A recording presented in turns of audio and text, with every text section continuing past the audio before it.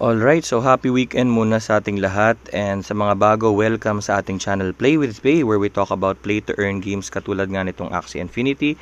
Also, we talk about my DeFi pet and hopefully more play to earn games in the future. Pero ngayon pag-usapan natin yung Axie and specifically yung unorthodox teams. So, ano nga ba yung ibig ko sabihin by unorthodox? So, yung mga teams na hindi mo makikita sa meta, hindi mo rare mo makita very uncommon. Yung pag nakita mo yung axis yung cards niya hindi siya nakakatakot makalaban hindi mo isipin na mananalo or malakas. So a good example nito yung itong isang team ko na to. So binuo ko to guys nung medyo bago pa lang ako sa axis siguro mga mga 2 months pa lang siguro ako. So mahilig ako mag-experiment mahilig ako bumuo ng teams na hindi kumokopya sa iba right? So pag tinignan nyo to guys Last time kong chinek itong reptile na to, set of cards na to, wala kang makikitang ganito sa marketplace. Um, chinek ko to parang ilang days ago lang, wala, walang ganito. Um, next is itong aqua. Chinek ko to sa marketplace guys. Isa lang ang kapareho nito or isa lang ang available na ganitong skill set sa marketplace ni Axie ngayon. Tapos ang price pa niya is nasa 0.5 Ethereum which is around 120,000 pesos. So hindi ko alam kung nagkamali lang siya ng pagka-post or he really thinks na ganun ka ganun ka mahal yung value ng ganitong klaseng axi. Okay? So pag tinignan niyo guys yung yung reptile ko which is yung backliner ko, uh, meron nga siyang spike throw for uh, pang backdoor pero kailangan mag magaling ka mag-anticipate ng galaw ng kalaban. Okay? Tapos wala siyang high damage cards. Um, pag tinignan niyo naman tong midline ko, yung aqua, as you can see, wala ring high damage cards. Um, usually, nasa 100 naman talaga yung mga damage cards ng um, aqua. Pero as you can see, hindi siya pure aqua. Meron siyang um, plant card na Spicy Surprise. Okay? And lastly, yung ating plant. So, ito, very good ang stats. 61 health and then 31 speed yung target natin. Pero pag tinignan nyo yung cards, uh, may serious siya, yung vegetal bite, pang steal ng energy.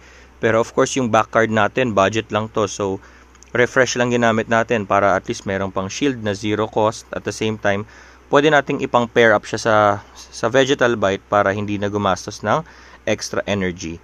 Tapos yung ating horn card, wooden stab, downgrade yan sa cactus kasi mas less damage siya although mas mas may shield siya. And lastly yung ating carrot hammer which um, sa ngayon guys ako hindi na ako fan ng carrot hammer kasi you tend to um, risk yung one energy mo pero pag hindi nag-work, hindi babalik yung one energy mo. And at the same time, if it doesn't work, meron lang siyang 70 damage which is not a lot. Tapos ang shield niya maliit lang rin at 40. So very very easy to beat itong team ko na to. And very hard to use kung kayo naman ang gagamit. Pero ever since binili ko tong team na to guys, um, pinakamaliit ko nung nakuwang SLP in a month is like 4,300, 4,4, usually nasa 4,5. So, first month ko tong ginamit, uh, 20,000 um, mahigit ang kinita agad within a month. And yun pa lang, 2 months ROI na ako dito sa team na to. So, pag tinignan natin ang MMR ko ngayon, nasa 1,531. So, not bad, especially for the composition of this team. Ang pinaka pinaka weakness kasi ng team na to guys is yung mga double plant, yung plant reptile. Kasi pag tinignan nyo guys, yung aking team, wala talaga siyang beast, uh, wala siyang beast cards or wala siyang bug cards na talagang papatay dun sa mga front lines at yung mga uh, mga backline plants or reptiles, di ba? So, tignan natin. Um, today, so far, nag-start ako ito 2 hours ago. So, as you can see, win, win, lose, win, win, win. So, um, 6 matches so far, 1 loss pa lang tayo at 5 wins. So, very good start. Mamaya tatapusin ko yung remaining energies.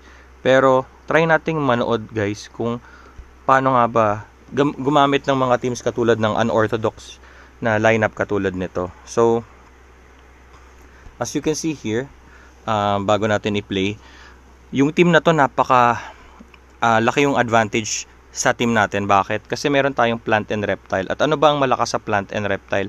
Yun ay beast cards and bug cards. So pag nakita nyo yung team niya, pure antenna build, which is yung bug signal cards. uh, malakas na yung damage niya sa plant and reptile at the same time, steal pa siya ng steal ng energy. So, tignan natin kung paano natin ma-outplay to or paano natin na-outplay. Okay, so nag-discard lang tayo. Gumamit lang rin siya ng zero cost. So, we have 5 energy both at the same or sa next round. So, katulad niyan, uh, very passive siya naglalaro kasi nagiintay siya ng um, combination ng dalawang bug signal card niya. Okay, so naka-steal tayo pero gumamit rin tayo ng energy. So, pareho tayong may 4 cards here or 4 energy. So, wala akong choice guys kundi basagin na to dahil um, wala rin naman akong beast cards. So, ginamit ko na lahat ng energy kasi inaasahan ko ng may bug signal card siya dito guys. So, ayan, wala akong energy siya. Napakarami niyang energy. So, I'm pretty sure gagamit na siya ng bug signal talaga dito. Uh, nakapag-carrot naman tayo, pero unfortunately, um, na-steal niya rin yung energy ng carrot na yon. So, dito. Okay, so yan, na-steal niya rin yun. Tapos, hindi pa tayo nakapag vegetal bite. So, at this point, meron siyang 4 energy, tayo dalawa lang. So, kailangan ko lang ma-prevent siya makapag-heal. Uh, so, gumamit na lang ako ng dalawang spicy surprise here para wala rin siyang ma-steal na energy and at the same time, hindi siya makapag-heal sa next round. Pero nakapag-heal din siya this round. So, um, very challenging to. Okay, ngayon, we decided to, eto, dito yung pinaka, pinaka, kumbaga, changing point ng game. So, dito lamang na lamang na siya guys, to be honest. Lamang siya sa energy, lamang siya sa um, build ng kanyang um, axis compared to mine or against mine. Pero gumamit siya dito ng dalawang carrot. So, yun yung sinasabi ko about the carrot Sometimes it's very risky. Very rewarding siya pag na, na, gumana. So may shield na siya at the same time balik lang yung energy. Pero as you can see here, hindi nag-work kasi nag-skip ako.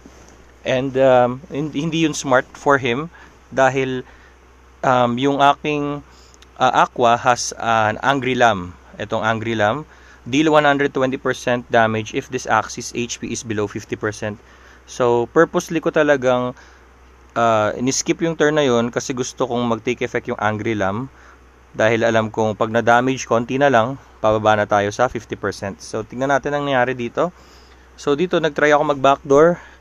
Um, although tinira niya both cards. So, uh, nakaka-damage tayo pero hindi natin mapapatay yung kanyang plant axis. So, to tuloy-tuloy lang tayo ng pagdi-discard dahil zero cost lang naman yan. So, nagkarot pa siya dito at nag-heal na naman. So, sakit sa ulo talaga yung um, zigzag. Okay, so as you can see here, gusto ko lang buhayin guys yung aking um, aqua as much as possible. Hindi na naman natin to mapapatay. Gagamit siya ng beast card. And then, discard ulit tayo. Okay, so ayan, nag-pumpkin siya. So, going into round 9 na guys. So ngayon, alam kong malakas yung effect ng Angry Lamb, so gagamitin natin yan. Pero just in case mag-shield up pa rin siya, of course, gumamit pa rin ako ng um, card sa aking reptile. Okay? Alright, so pause muna natin dito. As you can see, Blood Moon Curse na, round 10.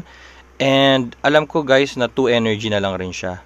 Tapos kung titignan natin yung kanyang cards, as you can see, walang zero cost cards. So lahat ng gagamitin niyang card, merong energy cost. So, alam ko may 2 energy lang siya. So, I know I can skip this round dahil yung kanyang bug signal, hindi na makakapag-steal dahil wala nang ka-chain na bug signal dahil nag-iisa na lang siya. So, tingnan natin ang lalapag niya. Ayan, maglapag siya ng Angry Lamb tsaka ng Beast card. So, masakit sa atin yung Beast card, but I know we can sustain it kahit na mag-critical pa yan. Okay, so ito, di-discard ulit tayo ng dalawang card. So, isang card na lang matitira sa kanya. Tapos, advantage pa tayo dahil reptile is stronger um, sa aqua.